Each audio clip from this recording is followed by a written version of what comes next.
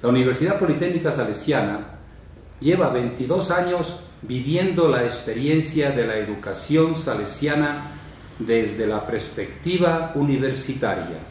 Esta inspectoría, la Inspectoría Salesiana del Ecuador, ha apostado para hacer presente a Don Bosco en la juventud universitaria.